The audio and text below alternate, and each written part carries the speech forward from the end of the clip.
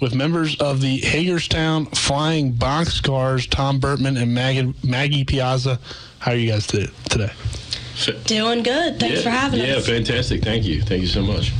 So appreciate them coming in this morning. Our show brought to you by Brown Funeral Home and Cremations, Robert Fields and Sons, family-owned full-service funeral home that's proudly served our area since 1880. As you guys both a part of the front office staff have a lot of things going on as baseball officially back in Hagerstown. Just I guess we'll start off with uh, that process first off and what it's been like for both of you to be a part of a new baseball team coming to the area and I'll start with you Tom and then go to Maggie. Well, for me, you know, being in baseball before and then losing that affiliation and also Tom if you can just kind of move that mic yeah. a little bit closer to you. Don't worry.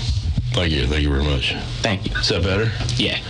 Um, yeah, just, you know, in my background in minor league baseball, uh, when uh, working with the other Hagerstown Suns team, when it went away, you know, I never thought I'd get another chance in, in baseball. I never thought that Hagerstown would get another chance. And, and four years later, here comes a brand new stadium, a brand new team. So it's been exciting and nonstop since day one. I got hired in June. And, I mean, it's been pretty much uh, all in since then. And now we're two months away from the start of the season, so st- stress is there, the um, lack of sleep is there, but the excitement has not stopped, and we're super excited about it. Yeah, it's definitely very exciting times, especially for me. Having the opportunity to start a team from the ground up, pretty straight out of college, is super exciting. And I had some background in college with baseball teams, so to be able to do it in my hometown, something really special and you guys have an event tonight, I believe it is, in Martinsburg. So just kind of explain uh, what you guys are doing down here. Yeah, so Amani Brewing was gracious enough to host us tonight for our promotion event. We'll be there from 4:30 to 7:30 tonight, and we're just going to be doing some raffles, some freebies. We'll have a table set up for some information, and just be there to showcase that we're back in town and baseball's back. The whole thing with um, with our team and, and why we're trying to make sure that the folks here in West Virginia and Maryland and Pennsylvania, although our title of our team is the Hagerstown Flying Boxcars, this is a team that belongs to everybody here in the area, all up and down that 81 corridor. So, you know, knowing the uh, the last Hagerstown baseball team and, and the fans that we got from the, the Martinsburg area and all over the uh, this West Virginia area, we want to make sure that they are included in what we're doing doing. So this is a very important event for us tonight to be able to bring our brand to to Martinsburg. As you heard, uh, they're at Amani Brewing, uh, 654 Rope Drive in Martinsburg tonight. Brewery's open from 2 to 9. As you heard, they'll be there from 4.30 to 7.30 with live music beginning at 5.30 night. You guys also in Martinsburg have a job fair coming up to, uh, I believe, a week or so away. Yeah, so we're having a job fair at Spring Mills High School on March 3rd from 2 to 5. So that's really just going to be for our game day staff. You know, we're looking for ushers, people to run concession stands, on field promotion. So if anyone is interested in being a part of the team, please come out and be prepared to be interviewed and hire, well, interviewed and talked to. And yeah, it'll be a good time.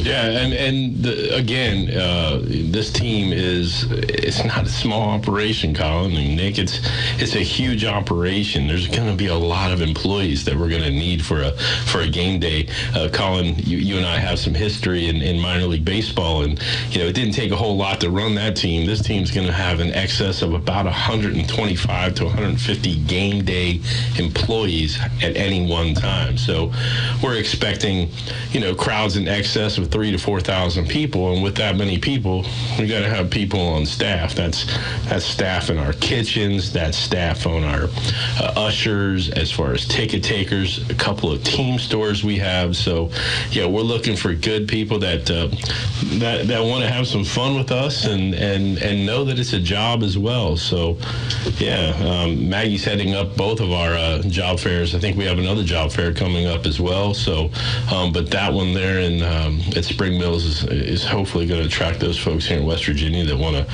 cross the state line and enjoy some baseball and, and work for the Hagerstown Flying Boxcars. The Boxcars are going to be competing in the Atlantic League which I grew up in York, so I'm familiar with the Revolution. Um, just talk about, I guess, some of the differences between maybe the Atlantic League and what people can expect compared to Hagerstown Suns baseball if they're used to that. Well, if they're used to the Hagerstown Suns baseball, especially in the past few years and the last few years of the team, um, you know, I always tell people that at that point we were dealing with 18, 19 year old kids fresh out of high school, college, who who were great athletes, great baseball players, obviously, because they'd been drafted by the Washington Nationals. But the truth of it is, is they didn't really know how to play the game professionally.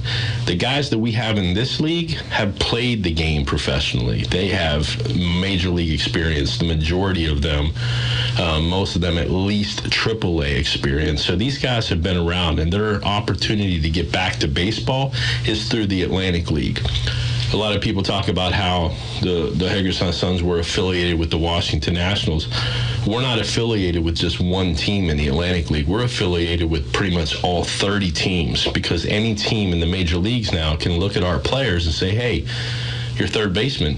We want them, and that can be the Seattle Mariners or or the Toronto Blue Jays. Any team in Major League Baseball can look at one of our players and pull them up to their their uh, their team, which is really an opportunity for these guys to get back at the big league level. So the the mo- the major the major difference is going to be the level of play. Um, and the talent's already going to be there. You're going to have, like I said, the guys with the names that have been.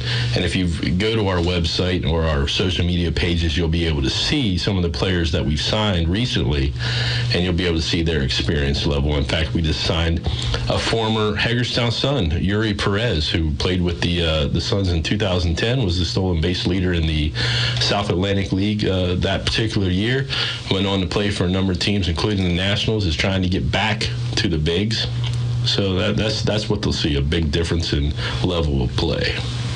Yeah, you can see uh, on Facebook your other social medias as well as your website some teams that uh, or some players that have signed for the team, and I also know that you guys are also looking for places that uh, might be able to open up their homes to players as well, kind of like what the Suns used to have and a lot of minor league teams do as well. I know maybe you weren't expecting that kind of question today, but if no. either of you have an answer as to how somebody might be able to sign up and help out. Yeah, you know, as a matter of fact, that's a great question. Yeah, we are looking for host families.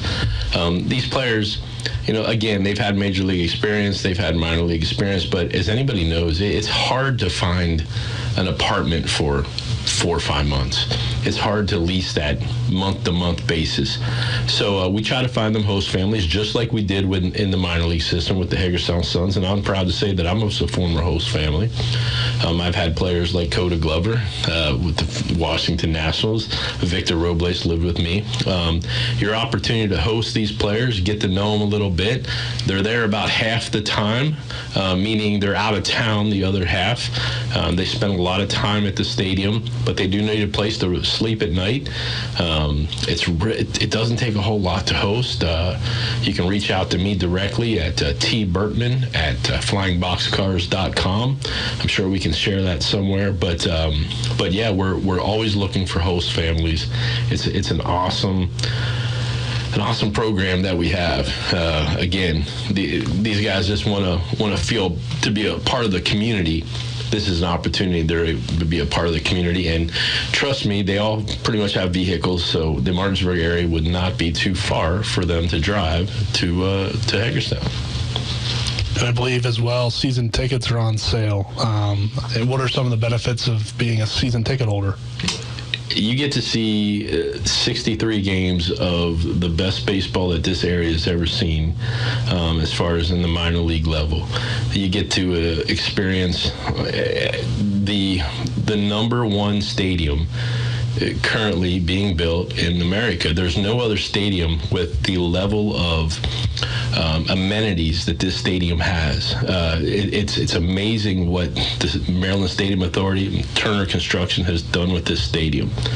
Um, there's, there's, I think is anybody that's been to Municipal Stadium in the past, and unfortunately, RIP, rest in peace to Municipal Stadium, it's now gone. They're going to be shocked. They're going to be wowed at what they're going to see, and they're going to want to continue to come back. Um, the main advantage of being a season ticket holder, you get to pick your own seat, and we'll be having those seat selections selection days coming up in the next what week to 10 days i believe Yeah, March 2nd. yeah, so you if you get a season ticket plan, you come in, you pick your own seat. That is your seat for all 63 games of the year, which is nice. Um, a little different style than with what we had before with the Hagerstown Suns. Uh, tickets are now done digitally for the most part. We still print tickets, but they're done digitally. So hey, you can't go to a game this Thursday you can email or text your friend your ticket and they can show up and they'll be there that Thursday. So, yeah, the advantage of being in that stadium 63 times a year guaranteed is pretty cool. All right, before we let you guys go, I'll let you uh, plug one more time the event tonight, the job fair on March 3rd, and then when uh, opening day is. May 3rd. Yeah, coming up. May 3rd, definitely. And uh, and tonight tonight's event starts at 4:30, correct? Yep, 4:30. and we'll be we'll be there till 7:30 and probably a little later for some of us. Uh, we'll want to stick around and hang out with folks, but come out. We got a few giveaways. We're gonna have some raffles and things of that nature. So come out, join us. Obviously, the job fair. Uh, you know, come out, meet us. If you have questions beforehand, you can always reach out to us as well. But uh, looking forward to uh, bringing baseball back not only to Hagerstown but to this entire area. And that includes Martinsburg and West Virginia. We're excited to have those folks back in the hub city. All right, Tom and Maggie, appreciate the time again. Tonight's event at Amani Brewing, and then the job fair March 3rd at Spring Mills High School.